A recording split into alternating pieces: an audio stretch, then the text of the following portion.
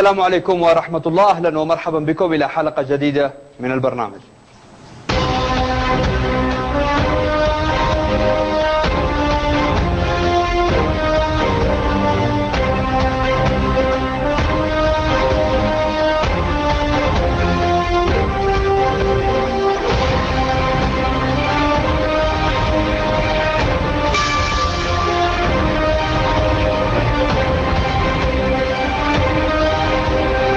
الحديث عن كيفية استقطاب شباب الثورة لمؤتمر الحوار الوطني يحمل للمشهد الكثير من التساؤلات ويرسم ملامح تشكك فيها معظم المكونات الشبابية الثورية. معايير الاختيار وهل هناك توافق سياسي بين أطرافه نحو مخرجات ذلك المشهد؟ أصداء اليوم يستعرض جوانب المشهد في قراءة أعدها محمد النقي. المسافات الشاسعة بين السياسيون والحكومة. وما يريده المواطن وما هو واقع. يخلق لدى الأخير شعورا تعيسا يوتره حينا ويرديه في آخر المطاف صريعا كالثور تماما في حلبة المصارعة. وحيث وقد غابت عن حياة الناس أذكار المشهد السياسي وما قيل من الكلام الكثير على منابره. تبدو المقاييس الحقيقية للمسافات الواقعة بين ماضي الإنسان اليمني وحاضره. لم تنضبط بعد لصالح الاقتراب من المستقبل. والصورة في مجملها حسب استنتاجات متأملين. أشبه بمدرسة أدمنها المشاغبون.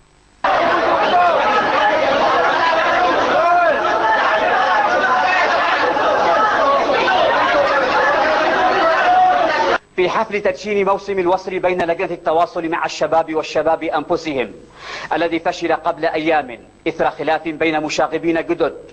هم حملة يمن التفاؤل والأمل. قادتهم المرجعيات السياسية إلى فشل ذريع في التلاقي الثاني مع اللجنة الوزارية للاتصال مع الشباب والرئاسية وانقسم بهم الحال إلى موقفين. موقف قدم 25 شابا. سيختار منهم من يمثل الشباب في الحوار الوطني. لكن تقول أكبر القوى الثورية بالساحات المصنفة حزبيا أن من تم اختيارهم هم من أنصار النظام. لكن شباب القائمة ذاتها الذين سيمرون في تصفيات عدة يقولون إنهم شباب مستقلون. الحوار الوطني الشامل في الأصل فرع من فروع المبادرة الخليجية البروتوكول الخاص بحل الأزمة السياسية اليمنية بين المعارضة والحاكم لكنه لم ينسى استيعاب الشباب في هكذا حل. يحاكي حلم التغيير إلى الثورة. مع ذلك أبدى شباب الثورة قبولهم في الانخراط بالحوار الوطني. ويشترطون ألا حوار مع أنصار النظام الذين قتلوا الشهداء. وكان اتحاد قوى الثورية قد اعتبر اختيار ممثلي الشباب مهزلة. منحت أنصار القتلة فرصة تمثيلهم في الحوار باسم شباب الثورة. الاتصال الرئاسية التي شكلت استدعت بعض المكونات من شباب الساحة وبعض المكونات من خارج الساحة. نحن نقول الهدف الرئيسي لثورتنا مجموعة أهداف ومن ضمن أهداف ثورتنا لا يمكن أن نتخلى عنها. اللجنة الرئاسية إذا أرادت أن تحاور شباب باسم شباب فعليها أن تبحث عن هؤلاء الشباب. أما شباب الثورة فلن نقبل الدخول في أي حوار إلا تحت سقف أهداف الثورة وهذا هو موقف كل الاتحاد الذي يضم أكبر المسميات للمكونات الثورية طالب لجنتي الاتصال الرئاسية والوزارية مع الشباب اختيار ممثلين لشباب الثورة في الحوار الوطني. بناء على حضورهم الثوري ووجودهم الحقيقي في ساحات الثورة.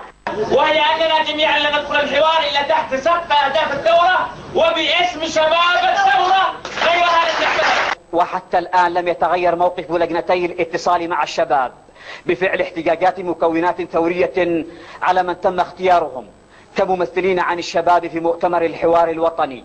وحتى الآن اللجنة التنظيمية والمنسقية العليا وغيرها من المكونات الثورية يعتبرون من تم اختيارهم ممثلين لبقايا النظام ويرد المختارون في قائمة الخمسة عشر. المنسقية واللجنة التنظيمية ممثلون لأحزاب المشترك. فما جدوى تمثيلهم في الحوار الوطني؟ محمد النقيب لبرنامج أصداء اليوم.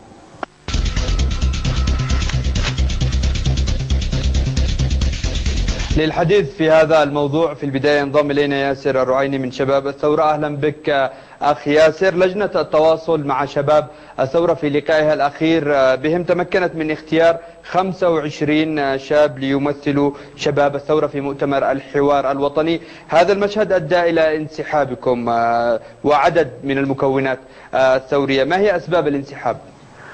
وشكرا في البداية لقناة سعيدة على اهتمامها بهذه القضايا. آه، في البداية يعني عندما تحدثنا نحن عن آه، اللقاء الذي كان مع لجنة الاتصال حضرنا إلى فندق البستان بعض المكونات التي استدعيت فحضرنا وطرحنا المقترح الذي كان أمام الأخ عبد القادر هلال وأمام حورية مشهور وأمام نادية السقاف بأن المعايير لم تكن واضحة ولهذا نأسف أشد الأسف أن عشر محافظات استثنيت من الحضور وكأنها ليست من اليمن وإنما تبع دولة أخرى ما أدري أثيوبيا أو الصومال أو أي دولة أخرى.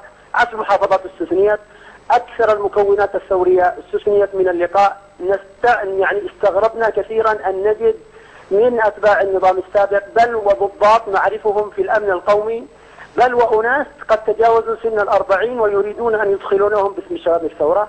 كان مقترحنا واضح أننا طالبنا بمعايير واضحة للتمثيل لسنا ضد الحوار. لكن طالبنا بمعايير واضحة للتمثيل وطالبنا أيضا بضم كافة المحافظات لأنه لا فرق بين محافظة ومحافظة أخرى بين شباب الثورة في هذا الإطار. طالبنا بهذه الأمور وأيضا بالمطالب التي قد كنا قد قدمناها من قبل إطلاق معتقلين من شباب الثورة وكذلك تسوية أوضاع أسر الشهداء وكذلك يعني إنهاء الانقسام الانقسام الحاصل في الجيش. هذه المطالب نحن طالبنا بها وقلنا لهم إذا ما كان هنالك معايير واضحة وتمثيل عادل لكافة المحافظات وكافة المكونات لا مشكلة لدينا أن نحضر واقترحنا أن يتم تأجيل اللقاء. وانسحب شباب الثورة ويبقى في اللقاء أحد من شباب الثورة. لم يبقى أحد من شباب الثورة في اللقاء فتم طبخ المسألة لأن المسألة لأنهم كانوا قد أعدوها من قبل. تم طبخ المسألة بآلية معينة وأخرجت إلى الواقع. نحن نعجب يعني الشباب الثورة هم من طالبوا بالتغيير هم من أقاموا هذه الثورة. نأتي في النهاية إلى أن يأتي بعض من كان في النظام السابق كعبد القادر هلال أو غيره ويريد أن يدير حوار ويسلقه بآلية معينة ليمثلنا في المستقبل في الحوار الوطني. الأمن القومي أو فلول النظام السابق. لا يمكن طيب لكن هناك عتب عليكم أنتم في شباب الثورة أنه حتى الآن لم تتوحد رؤاكم ومواقفكم نحو الكثير من القضايا ومنها كيفية اختيار ممثلكم. فأين رؤيتكم في خطى عمل اللجنة أو ما هي الآلية؟ أيوة أنا أعتقد أن شباب الثورة لديهم رؤى واضحة ولدينا أهداف ثورة شارك في صياغتها شباب الثورة. لا توجد لدينا إشكالية في هذا الإطار. ثم أيضا أضيف إلى هذا. غدا أو بعد غد ستعلن اللجنة التحضيرية للمؤتمر الوطني العام لشباب الثورة على مستوى اليمن والذي ستشارك فيه كافة القوى الشبابية لصياغة رؤى الشباب في كافة القضايا الوطنية وفي مستقبل اليمن الذي سيأتي. نحن الشباب فيما بين نحن متفقون على الأهداف على الرؤى على كل شيء لكن للأسف عندما تدخل هذه الآليات السياسية تسعى للتفرقة بيننا. ليس لدينا حتى إشكالية في مسألة الحوار مع من كانوا في المؤتمر الشعبي العام ما لم تمتد أيديهم لشباب الثورة يعني أو حتى حرضت على ذلك. ليس لدينا إشكالية لكن الإشكالية تكمن أن هذه الآلية السياسية أو هذه اللجان تمارس عملها بآلية استفزازية وبآلية إقصاء وبآلية طيب أخي ياسر يقال أيضا أن لجنة التواصل مع الشباب حرصت على أن يكون تمثيل لشباب الثورة بالنسبة لمن هم مستقلين باعتبار أن الشباب المنضوين آه، في الأحزاب تمثلهم أحزابهم هل لك تعليق؟ أولا أنا أولا إذا أردنا أن نتكلم عن شباب أحزاب وشباب مستقلين كل من في الساحة هم شباب ثورة نزلوا حتى وإن كانوا ينتمون إلى أحزابهم لكنهم نزلوا بآليات ثورية ونزلوا قبل أن تنزل أحزابهم. وهم وهم لا ينتمون اليوم في إطار الثورة إلى أحزابهم. إذا أرادوا أن يتكلموا عن أحزاب فهنالك حزب الاشتراكي وحزب الناصري وحزب المؤتمر وغيره من الأحزاب ليمثلهم في إطار أحزابهم. لكن نحن نتكلم عن شباب ثورة الذين هم في الساحات لأكثر من لما يقرب من عام ونصف هذا ما نصت عليه المبادرة في التعامل معهم, معهم. أضف إلى هذا أننا قبلنا بالمبادرة الخليجية وأتحنا الفرصة للآلية السياسية لأن تقوم بدورها. أما أن يأتي أما أن تأتي اليوم لجان التواصل وتتلاعب بالحوار مع شباب الثورة وبآلية التواصل مع شباب الثورة فما زلنا في الساحة وما زالت الثورة قائمة عليهم وعلى من سواهم. شكرا لك ياسر الرعيني. شكرا لك. ينضم إلينا أيضا عبد الهادي العزعزي عضو اللجنة التنظيمية للشباب الثورة في ساحة تغيير بصنعاء أهلا بك أستاذ عبد الهادي. من وجهة آه، نظرك هل تقارب السياسيين في كيفية اختيار ممثلي آه، شباب الثورة لمؤتمر الحوار الوطني خارج مربع صراعهم السياسي ممثل بلجنة الاتصال بشباب الثورة؟ أعتقد أن ما مارس ما مارسته كلا اللجنتين ولجنة الاتصال الرئاسية بالتحديد.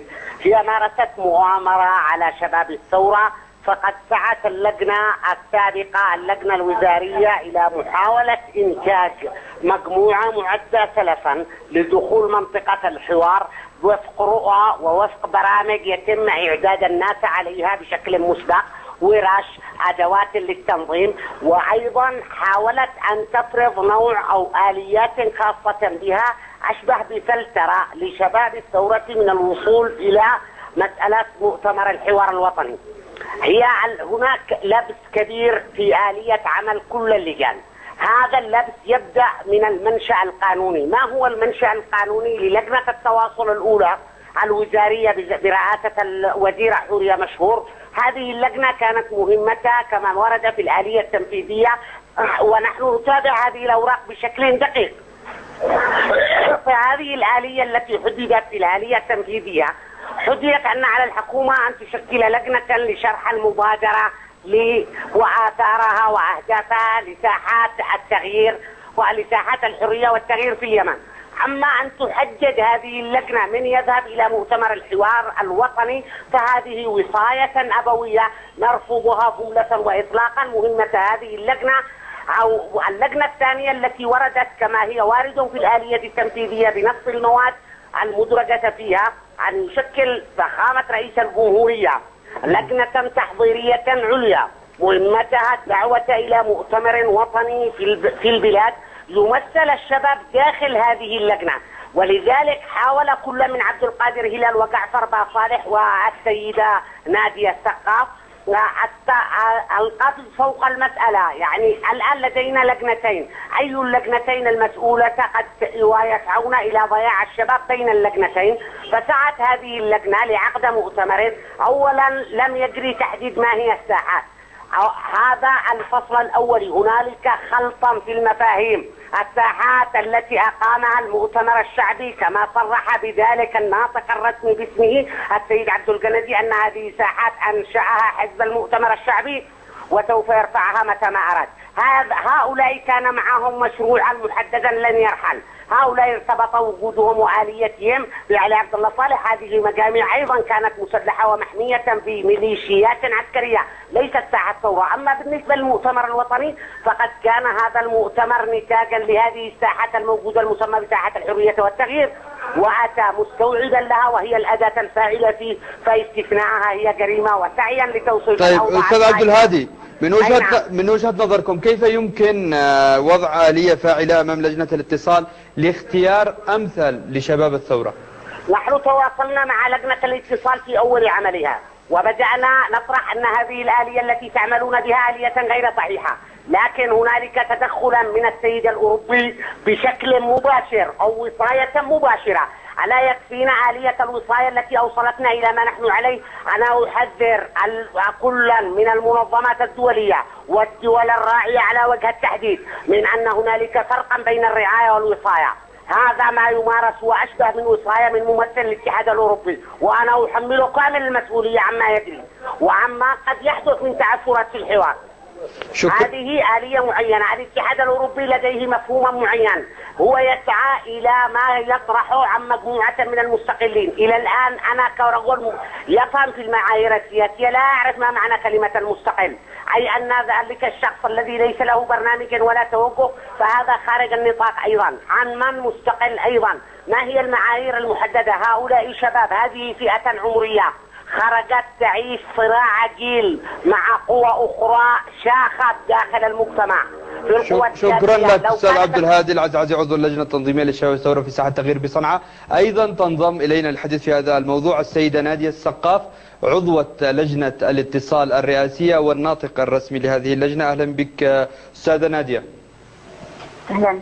أستاذة نادية سمعت بالتأكيد وجهات نظر الشباب الذين كانوا معنا في هذا الموضوع عن كيفية أو معايير اختيار ممثلي شباب الثورة المؤتمر الحوار الوطني والكثير من النقاط. ما ردك على ما تحدث به الشباب؟ من من مبدأ الأول يسعدني جدا أن أكون موجودة باستضافتكم. وهذا هو أصلا الذي نبحث عنه هو مسألة الحوار. مسألة الفرق بين اللجنة الوزارية واللجنة الرئاسية نحن معنا مهمة محددة تنتهي بنهايه الشهر. والمفروض أو تنتهي بنهايه الشهر نتوقع ربما أن تمتد إلى أسبوع من هذا القبيل. مهمتنا تقتصر على انتاج ال- اللجنة التحضيرية والتي سيستقر فخامة الرئيس بالأسماء حسب الكشوفات التي نستخلصها من جميع الفعاليات بالنسبة لمسألة الفعاليات الشبابية آه، قمنا بهذه الفعاليات بالشراكة مع اللجنة الوزارية لأن اللجنة الوزارية لديها امتداد أكثر والتقاء بالشباب لأن مهمتها على مدى طويل أكثر مننا أيضا مسألة الفعالية وأنها خلاص يعني انتهت بأسماء محددة وكانت مسألة مطبوخة هذا الأمر ليس صحيح. ويوجد لدينا عدد من الفعاليات القادمة ونحن على يعني على مدى استعداد كبير لاستقبال أي معايير أو أي آليات أو أي استخلاصات من الشباب حتى ندمجها في أفكارنا. طيب أنتم في اللجنة الاتصال الرئاسية الآن على أي معايير تستندوا في اختيار ممثلي الشباب في مؤتمر الحوار الوطني؟ هي استعنا بعدد من الخبراء المحليين والدوليين لأجل استخلاص المعايير التي تناسبنا. النقطة الأولى التي يجب أن نتذكرها أن هناك يكون تمثيل جغرافي، يكون تمثيل سياسي، أن فئة الشباب أصلا من عمر كم إلى عمر كم، التمثيل من في النوع الاجتماعي أن يكون هناك إناث وذكور، وإذا كانت هناك أي معايير أخرى نستخرجها من الفعالية نفسها. يعني من الشباب هم اللي يقترحوها. طيب آه، الشباب يطرحوا أن من تم اختيارهم آه، من شباب الثورة تحت آه، تم في سياق صفقة سياسية بين المشترك والمؤتمر ما حقيقة ذلك؟ إحنا عملنا إعلانات يعني إذا أنت لاحظت قبل تقريبا أسبوعين وردت الإعلانات في الصحف وفي الإذاعات وفي المواقع الإلكترونية نوع من الشفافية التي نحاول من خلالها أن لا نستثني أحد. ولم يعني لم نستثني أحدا بس كان هناك مجموعة من التكتلات الثورية التي لم تقدم من خلال الإنترنت وبعضها آه، تقديمها كان مقتصر أو غير كامل. لكن نحن نعدكم أن خلال الفترة القادمة ستجدون فعاليات أخرى نستوعب فيها حتى الناس اللي انسحبوا برغم أنهم وافقوا واشتركوا ودخلت أسماءهم في القائمة للمدعوين للفعالية الأولى وانسحبوا في اللحظة الأخيرة لكن حتى هؤلاء نحن نست- نستوعبهم ونستمع لآرائهم برحابة صدر المسألة هي ليست مسألة حزب أو مسألة اتجاه المسألة هي مسألة وطن. ونحن كلنا هنا من أجل هذا الوطن. وأيضا الحوار اليمني الحوار الوطني اليمني هو حوار جديد من نوعه لا يوجد مثله في المنطقة وأعتقد في العالم. وهي هي مرحلة آه، تعلم. نحن أنفسنا نتعلم ونريد من الآخرين أيضا أن يعطونا من أفكارهم حتى نمشي إلى بر الأمان. طيب أستاذة نادية هناك تعليق من الشباب على طريقة دعوتهم للمشاركة في الحوار بحسب ما يخبرون الزملاء في الإعداد أنه تم عمل إعلان لدعوة الشباب للمشاركة في الحوار وهناك آه، ملاحظات على هذه الطريقة أنها قد تكون غير صائبة. بالنسبة طيب لاختيار آه، آه، إذا كانت لديهم أي آليات أخرى يعني إحنا اعتمدنا الإعلانات حتى تكون الأمر شفاف ويصل إلى أكبر قدر ممكن. لأنه إذا ما. إذا ما استعملنا الإعلانات معناته بيكون في انتقائية.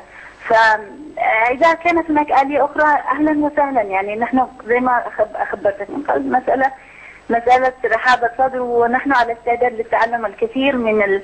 من الشباب أنفسهم ونحييهم. التغيير هم الشباب الذين صنعوه بالتأكيد يجب أن يكونوا الشباب هم اللي موجودين آه، في آه، ممثلين في اللجنة التحضيرية وغيرها من اللجان القادمة.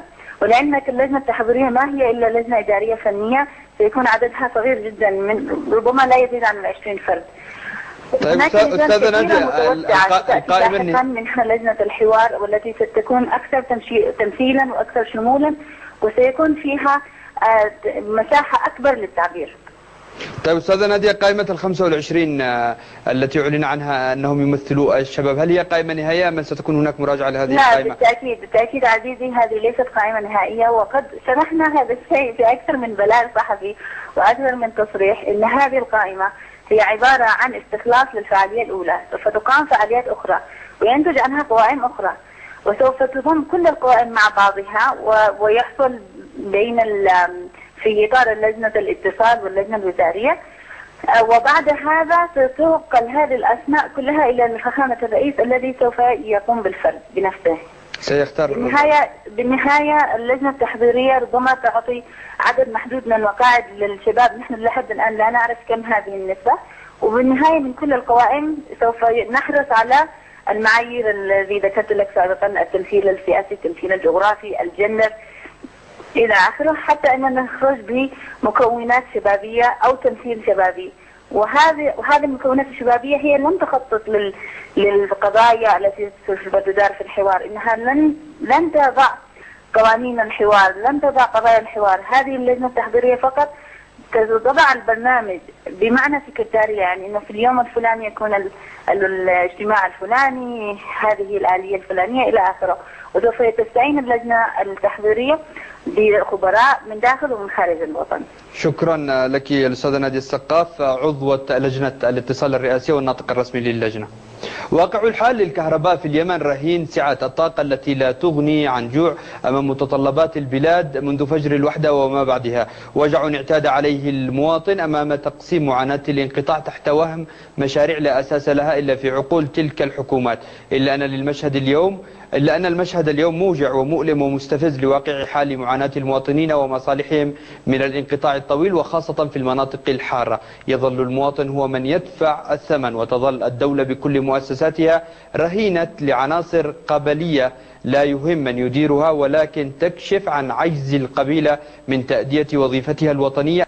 سلوك أولئك الذين طال أمد الصبر عليهم من جهة وتوظيف ما يحدث لتغطية مؤسسة الكهرباء من تأدية دورها أمام احتجاجات المح... احتياجات المحافظات بمحطاتها. قراءة تحمل وجع المشهد في تقرير رضوان السماوي.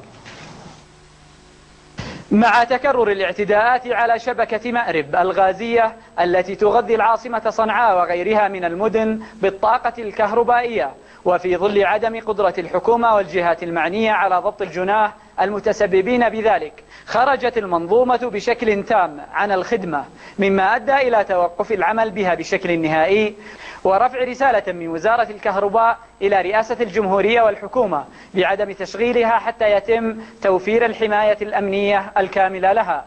طبعا الخروج المتكرر للمحطة الغازية وإعادتها هذا يسبب بأضرار جسيمة للشبكة الوطنية وظهرت بعض المؤشرات السيئة جدا في المولدات القديمة في محطات رأس كثيب والمخا والحسوة بحيث أنه أكثر من مولدين ظهرت عازلية سيئة في ملفات السيتور بالإضافة إلى وجود إزاحات على التوربينات وظهور بعض المشاكل في الغلايات مثل الثقوب والتشققات.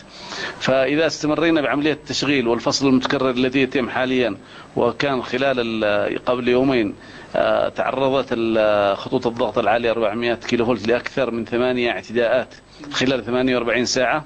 هذا الأمر خطير جدا وقد يتسبب في انهيار المنظومة الكهربائية بشكل كامل. وفي ظل هذا كله يعيش المواطن وضعا مأساويا خصوصا وطلاب الشهادتين الأساسية والثانوية بدأوا فترة الامتحانات اليوم. فكيف سينعكس هذا سلبا عليهم وعلى استذكار دروسهم؟ ومع قدوم شهر رمضان وموجة الحر الشديدة وخصوصا في المدن الساحلية كان لابد لنا من طرح هذا الموضوع على الجهات المختصة وسؤالهم عن البدائل والحلول. وإذا ما كان هناك خطة استراتيجية لديهم قدمنا خطط لبناء وحدات توليدية سريعة على أنه كانت المفروض تدخل الصيف هذا أو الصيف القادم في حدود 400 ميجا في الحديدة وعدن وتعز. وأيضا الخطة الاستراتيجية التي مع المؤسسة على أنه بناء 2000 ميجا وات في محطات اللي هي في عدن والحديدة وبالحاف ومعبر. طبعا هذه الآن مطروحة أمام الحكومة لدراستها وعمل الإجراءات السريعة لتنفيذها. أما في الوضع الحالي اللي موجود نحن فيه فالوضع يعني يعتبر سيء جدا بالنسبة لشبكة الجمهورية وإجمالي الأحمال. لا تتجاوز الألف ميجاوات إلى 1100 ميجاوات بالكثير. يتساءل المواطن البسيط ما إذا كانت الحكومة ومن فيها يحسون بمعاناتهم أم أنهم مع وجود المولدات الضخمة لديهم معزولين عن هذا كله. ويتساءل أيضا هل أصبح من عادات القبيلة التي اشتهرت عبر الأزمان بالخصال الحميدة. أصبح الآن قطع الطرق والكهرباء والتخريب هي عاداتها الجديدة. رضوان السماوي لبرنامج أصداء اليوم.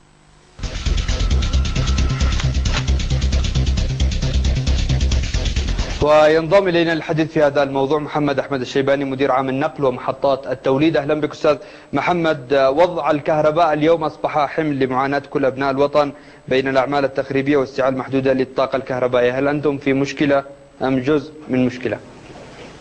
بسم الله الرحمن الرحيم. ونشكر قناه السعيدة على تفاعلها المستمر مع قضايا الكهرباء. وأنا اود الاحاطه بأن خطوط نقل الضغط العالي مارس صنعاء 400 كيلو فولت الدائر رقم واحد. تتعرض لاعتداءات تخريبية متكررة منذ فترة. وخلال يومي الأربعاء والخميس فقط يومين تعرضت الدوائر لحدث ثمانية اعتداءات متكررة أدى ذلك إلى خروج محطة توليد مارب وبقية أجزاء المنظومة الوطنية الكهربائية طبعا إجمالي الاعتداءات من 2010 إلى الآن 159 حادثة. عام 2010 كانت ست حوادث 2011 وصلت الحوادث إلى 93 حادثة. 2012 بداية يناير الآن 60 حادثة. ال 60 حادثة معظمها 35 منها على خطوط نقل الضغط العالي مرة صنعاء وال 25 الأخرى على خطوط نقل الضغط العالي بين حارة قدر طبعا هذه إشكالية كبيرة تواجه مؤسسة الكهرباء وتكبلت خسائر مادية كبيرة جدا بلغت 39 مليار تتوزع على قطاع غيار وأجور إصلاح وقيمة طاقة منقطعة. قطاع الغيار استنفذت بالكامل وتم طلب قطاع غيار ارجد بالطائره وتم استنفاذها والآن طلب قطاع قطاع غيار أخرى من الخارج. يعني ملايين الدولارات تصرف المؤسسة. طيب أستاذ أستاذ محمد أنتم في المؤسسة ألا توجد لديكم أي بدائل أو مقترحات تقدموها للحكومة لمعالجة الوضع في هذه الأوضاع الاستثنائية؟ والله نحن بدا يعني عملنا فني هندسي بحت. يعني إحنا نتعامل مع المشكلة بجانب فني. تحدث يحدث الاعتداء نكلم الفرق الهندسيه والفنيه تنزل تعالج المشكلة. لكن كجانب افترض ان الجهات الأمنية تقوم بوجهها يعني. لحمايه الأبراج. طيب معاناة المواطنين في كل اليمن الآن من الكهرباء لكن في المحافظات الساحلية تحديدا في عدن والحديدة وهي مناطق حارة وحضرموت أيضا. ما هي ما الاستثناء في معالجتكم؟ المناطق الساحلية لها أولوية خاصة. بس الأهم على العجز الكثير في التوليد لأنه محطة مارب لما خرجت نتيجة الخبطات الحديدية برضه تأثرت بقية أجزاء المنظومة تأثرت مولدات في المخا في راس كتيف هذه مولدات تعمل من الثمانينات وقديمة نتيجة الحصول الفولت الفولت اللحظي القشري في الخطوط تغذي منطقة العطل ويؤدي ذلك إلى الأضرار الجسيمة فيها. توقفت يعني يوم أمس اثنين مولدات في راس كتيف مولد في المخا مولد في يعني مع استمرار طيب الحوادث أستاذ محمد أنتم الآن في المؤسسة العامة للكهرباء ووزارة الكهرباء والحكومة. تحمل كل المسؤولية على من يعتدي على أبراج الكهرباء ومحطات الكهرباء، لكن هناك تقصير منكم أنتم في المؤسسة العامة للكهرباء ووزارة الكهرباء في معالجة بعض الإشكاليات من جانب فني داخل مختلف محافظات اليمن وأنتم مقصرين في معالجة هذه الأوضاع وتحمل كل الأمور على من يعتدي على أبراج الكهرباء في مارب. مع أن هناك إشكاليات فنية داخل المدن. بس هذا الاعتداء هو حل المشكلة يعني. طبعا ما غير الاعتداءات هناك أسباب أخرى أيضا مشاكل فنية بسببكم وتقصير منكم وموظفيكم. آه تعمل على انقطاع تيار الكهرباء داخل المدن. يعني نحدد إيش إيش القصور؟ واوجه القصور. لأنه نحن شوف نحن نتعامل مع مشاكل خاصة خط النقل مارب أول ما تحدث الحادثة تتحرك الفرق تعيد الخط في أقرب فرصة. يعني نحرك أربع خمس فرق.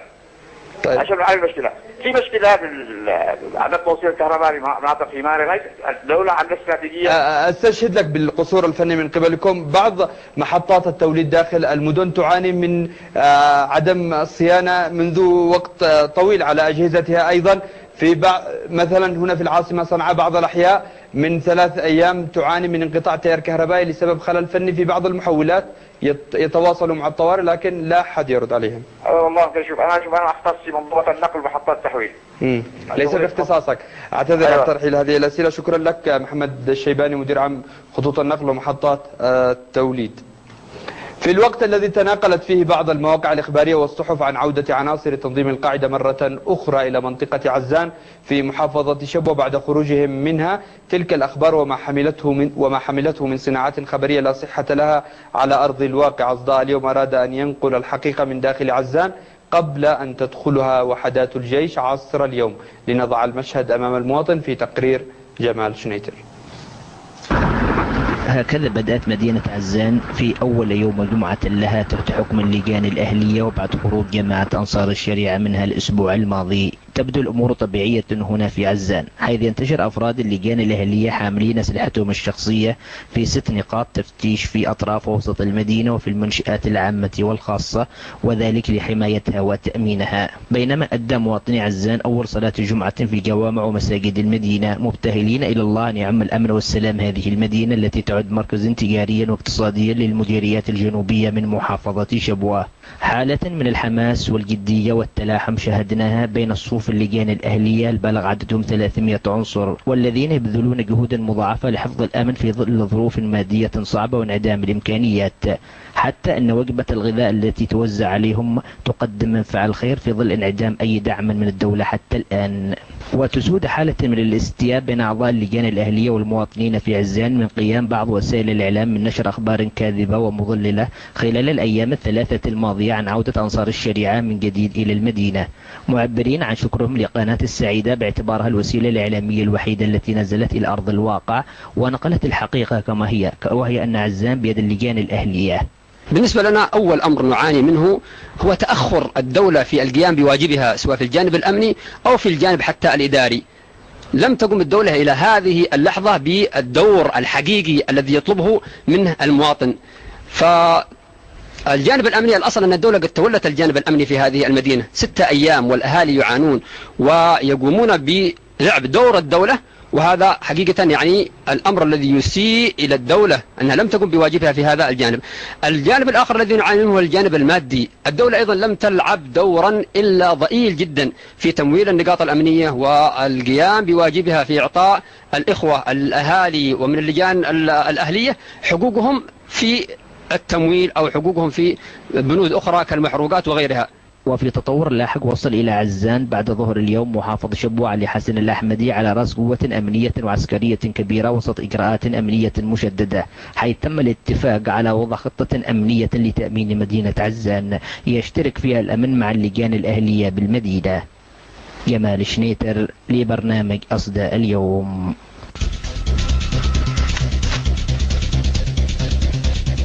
وينضم إلينا أيضا من شبوة ناصر بشيبة فقير عضو اللجنة الأهلية في عزان. شبوة أهلا بك أخ ناصر. أهلا بكم وسهلا.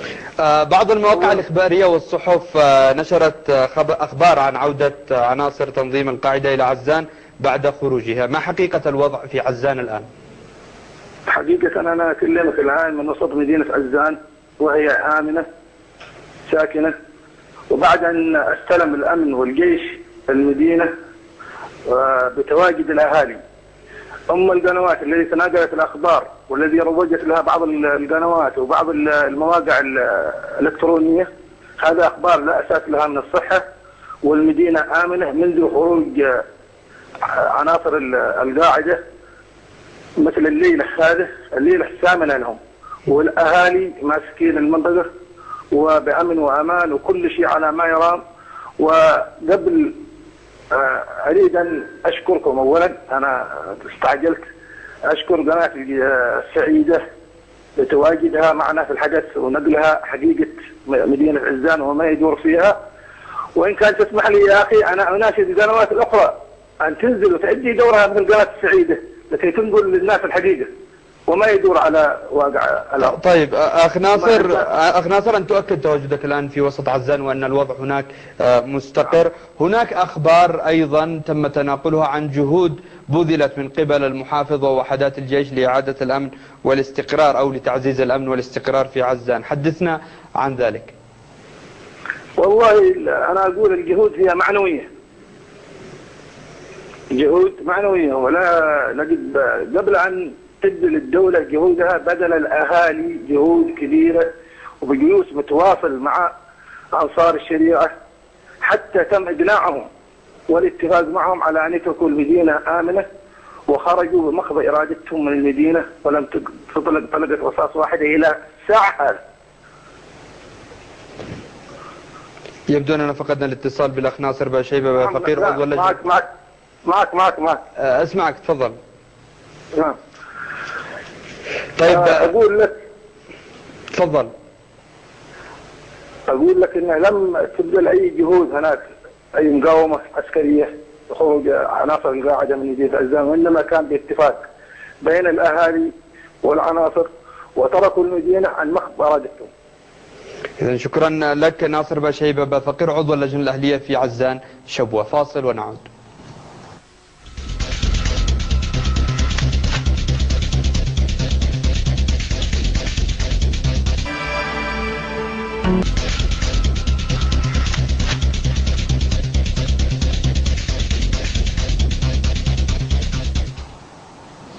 اليوم شهدت العملية التعليمية امتحانات الصف التاسع في محافظات الجمهورية. مشهد له بحضور الكثير من قيادات وزارة التربية والتعليم وبعض الوزراء وعلى رأسهم دولة رئيس الوزراء. إلا أن مشهد الامتحانات يضعنا أمام كثير من التساؤلات حول أجواء سير الامتحانات وما يحمله الوضع العام من حمل على عاتق.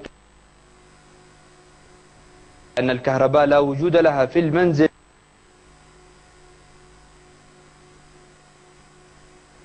رئيس الحكومة محمد سالم باسندوة الذي دشن هذا الصباح العصيب. وهل في مساء اليوم كهرباء؟ ثم ينتشر السؤال على أفواه الممتحنات جميعا. فيدعو الرجل ربه أن يقطع من يقطع التيار الكهربائي ويعد أن العام القادم سيكون مضاء على مدار الساعة.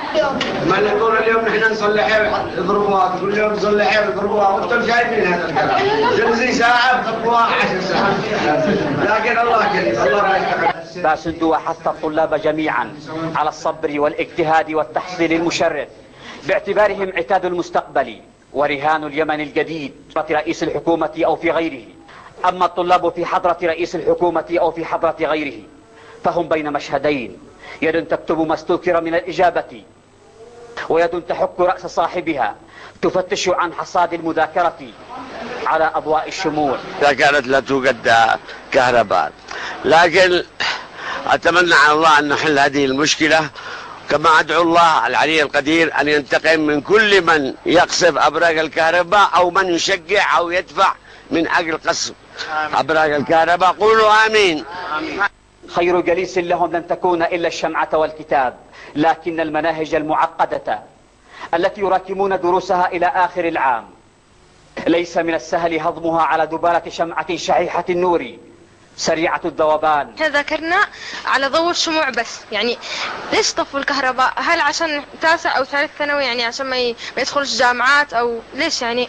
نحن الطلاب يعني إن لازم نحن المفروض إنه يعني ما يطفوش الكهرباء سواء كان علشان طلاب عشان امتحانات. في أي المفروض إن طوال السنة ما يطفوهاش. منذ متى واليمنيون يمنون النفس بتدشين حكومي لتيار كهربائي بلا انقطاعات مضنية منذ متى؟ محمد النقيب لبرنامج أصداء اليوم.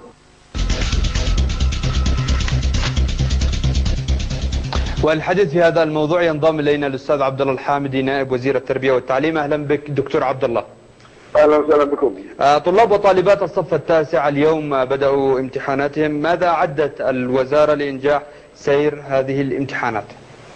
طبعا ما شاهدناه اليوم في كافة محافظات الجمهورية والتدشين الذي قام في دولة رئيس الوزراء وأيضا الأخ معالي وزير التربية وأنا كنا والسلطات المحلية ومن معا على مستوى الأمانة وهكذا كل قيادة الوزارة في في المحافظات المختلفة والتقارير التي أتتنا من آه، آه، كافة المحافظات توحي بأن اليوم الأول آه، سار بهدوء وكانت آه، آه، الطالبات والطلبة آه، مرتاحين ومطمئنين ل يعني لطبيعة الأسئلة التي قدمت إليهم التي راعت كافة الظروف ال- التي نعاني منها في هذا في هذا الوطن.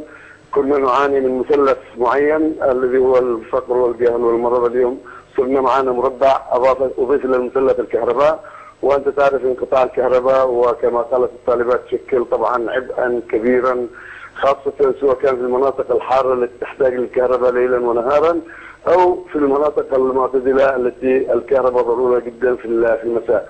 لكن طبعا آه، نسأل الله أنا نحن اليوم احسسنا بانه هناك في محاولة قوية لملاحقة هؤلاء الذين يقطعون الكهرباء.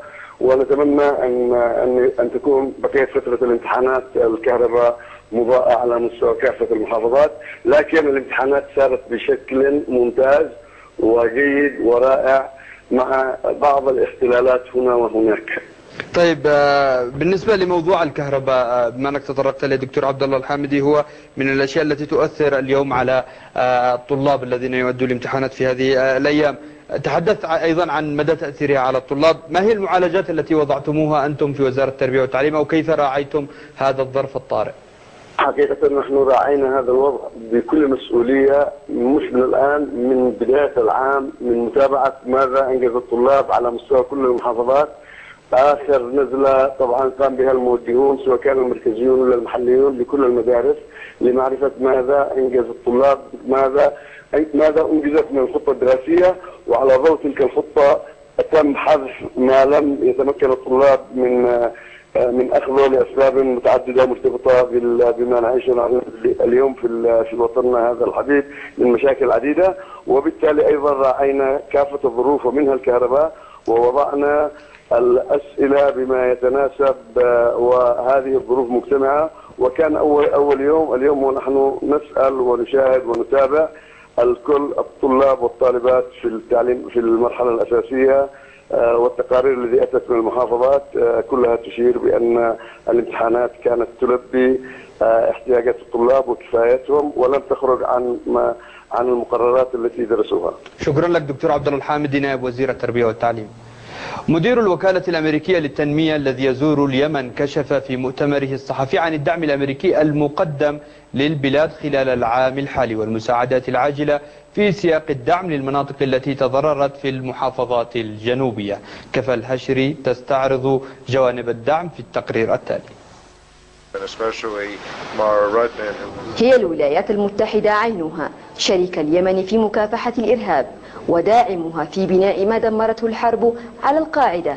هذه المرة جاء الدعم متزامنا مع زيارة هي الأولى من نوعها للسفير الأمريكي جيرلاد ومدير الوكالة الأمريكية للتنمية رجشا إلى زنجبار عاصمة محافظة أبيان. حيث أعلن مدير الوكالة الأمريكية للتنمية عقب تلك الزيارة عن زيادة المساعدات التي تقدمها الولايات المتحدة الأمريكية لليمن إلى 175 مليون دولار بعد إضافة 52 مليون دولار خلال العام الجاري.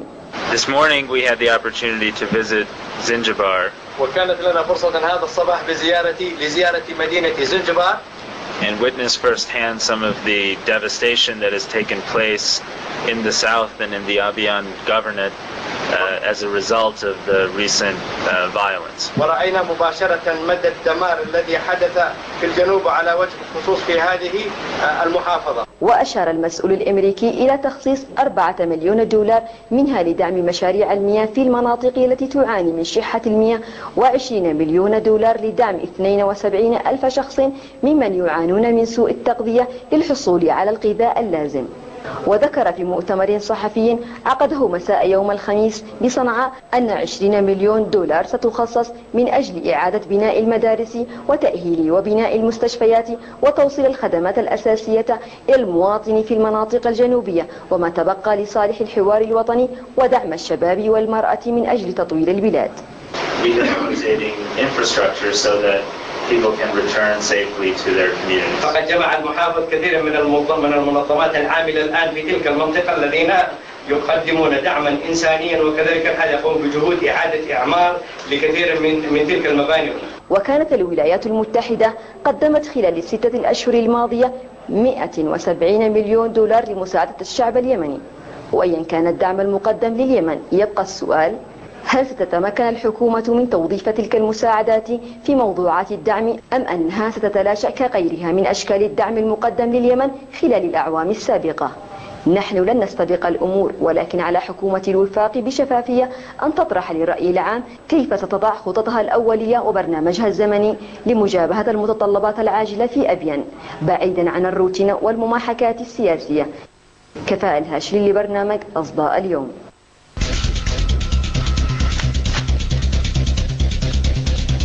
ما هي حقيقة مشهد الإضراب في جامعة عدن بين مطالب نقابة موظفي الجامعة ونقابة هيئة التدريس؟ وما هي أبعاد ذلك المشهد وما هو موقف رئاسة الجامعة؟ برنامج أصداء اليوم حاول التواصل مع كل الأطراف إلا أن الاستجابة بالرد علينا انحصرت بأطراف المطالب. محمد البطاح يرسم صورة المشهد في التقرير التالي. بالرغم من كل أنواع الترهيب الذي مارسته قيادة جامعة عدن ضد بعض موظفي الجامعة من خلال التهديد باستقطاع مرتباتهم وتغييبهم بحسب اتهام المكتب الإعلامي بنقابة موظفي الجامعة لقيادتها إلا أن موظفي الجامعة بعدن يواصلون وللأسبوع الثاني اعتصامهم أمام مبنى رئاسة الجامعة رافضين أي تفاوض ما لم يتم تنفيذ مطالبهم. مطالبنا ليست بجديدة نحن من 2006 ونحن مستمرين في المتابعة. لكن للأسف الشديد تستمر قيادة جامعة عدن بمعاملتنا كحلقة ضعيفة. مستغلة حرصنا ورقينا وحرصنا على مستقبل الطلاب وحرصنا على زملائنا من الأكاديميين وحرصنا على سير العملية الأكاديمية والإدارية داخل الجامعة. إضراب موظفي الجامعة شل حركتها العملية والعلمية بشكل شبه كلي. وكل هذا وفقط بغية تنفيذ مطالبهم بتثبيت المتعاقدين وصرف مرتباتهم المتأخرة وإطلاق الوظائف المعتمدة من قبل وزارة الخدمة والموقفة من قبل رئيس الجامعة حد قولهم. وأيضا صرف إكرامية رمضان لهم أسوة ببقية الجامعات. ناهيك عن العديد من المطالب الأخرى وكلها حقوقية. أنا 13 سنة ما توظفت راتبي 6000 ريال. 7000 ريال. متزوج معايا اثنتين بنات. صفا لا متى ما استمروا متعاقدين. وناس يجوا بعدنا من العيال أمس يتثبتوا. مظلومين مهضومين متعاقدين وأي متعاقد يدخل داخل كلية الزراعي ينهضم لحد ما يصير يتوظف نقابة موظفي جامعة عدن بكلياتها اكتفت في الأسبوع الأول بالإضراب فقط أملا في تنفيذ مطالبها. وبدءا من اليوم قررت الاعتصام وهي تنوي التصعيد إذا لم يتم الالتفات الجاد من قبل المعنيين لقضيتهم. محمد البطاح لبرنامج أصدى اليوم.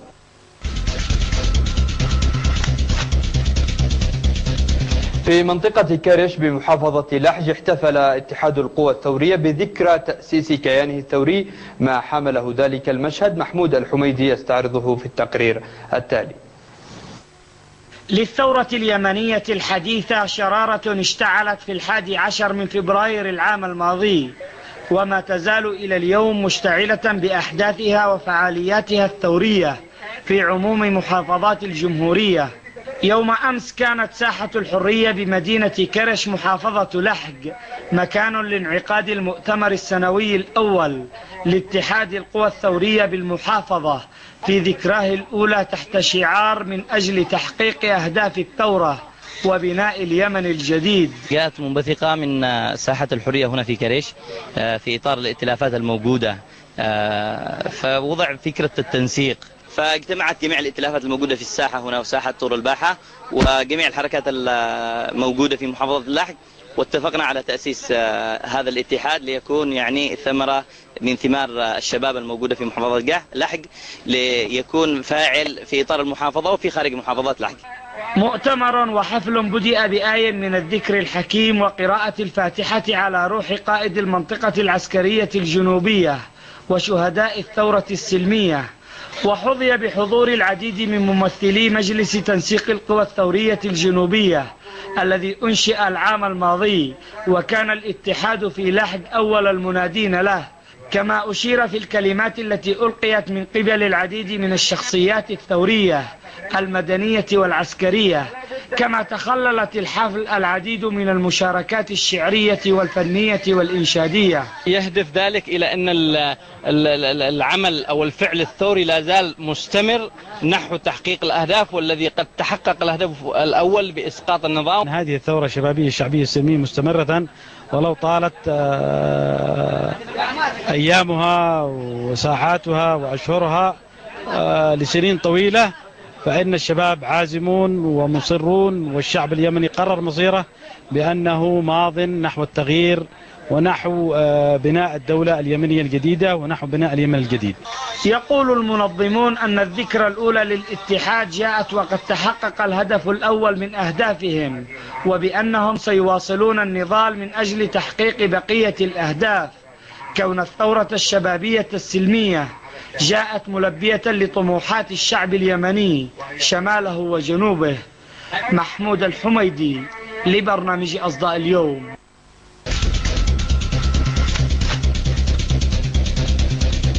وصلنا بكم إلى ختام هذه الحلقة من برنامج أصداء اليوم. يمكنكم متابعة البث الحي لقناة السعيدة من خلال موقعها الإلكتروني. دمتم مدامة اليمن بخير. ألقاكم بحول الله.